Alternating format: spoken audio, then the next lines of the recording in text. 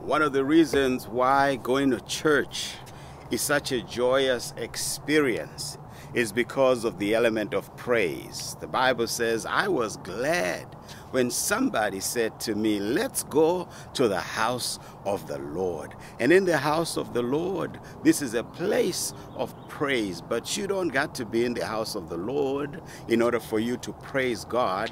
You can praise God even if you are away from the house of the Lord. The scripture says, Delight yourself in the Lord, and the Lord will give you the desires of your heart. One of the most powerful Christian experiences is praise. When we can just let out our praise to God. Often we want to think that we praise God because of what He has done for us. Now, I know that we do have a great track record of the marvelous works of God in times past when we see how far God has brought us a mighty long way and how much He has blessed us along the way, we want to praise Him. He's a great God. He is worthy of praise, but His worthiness is not because of what He has done. His worthiness is because of who He is. When we praise God, we are extolling Him, we are enthroning Him. We are putting him in his rightful place. We praise him for who he is. And then, in addition, for what he has done. But we praise him primarily because he is worthy all by himself of all our praise. Praise is what wells up from our hearts. Praise must emanate from our heart. When we praise God, we should not depend on the one who does the call to worship and calls us to worship. Praise must be spontaneous. Praise must emanate from our hearts. When we praise God, there's so much that we got to be grateful to God for. But we don't praise God for what He has done, but we praise God for who He is. There's a difference. There's a difference. We can give gratitude when we look at what God has done in times past.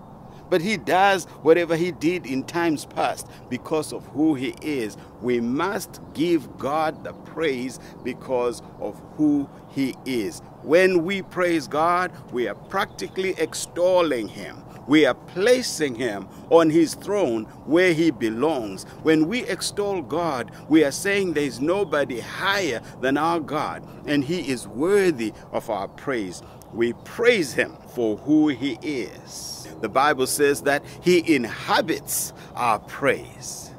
In other words, when we extol him, we enthrone him. We put him on his high pedestal, on his high throne where he belongs. So praise is when we lift him up and we place him on his throne. Let me tell you, when God is sitting on his throne, above him there is no other. So praise is extolling God and giving him all the glory and all the exaltation and all the honor that is due to his name.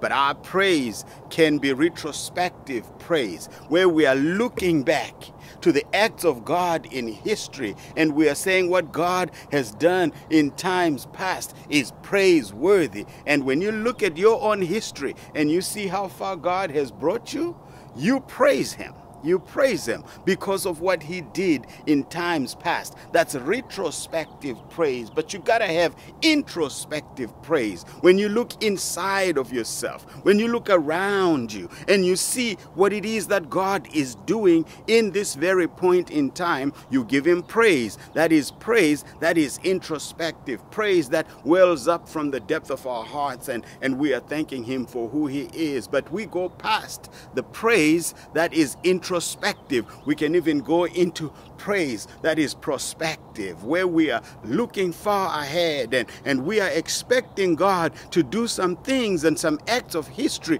into the future. So we praise Him in advance. We praise Him prospectively. So I pray that your praise is not just prospective, not just introspective, not just retrospective, but you are praising God for who He really is. He is God and He changes not. So let's give Him all the praise and all the glory and magnify His name and extol His name and enthrone Him because you know what?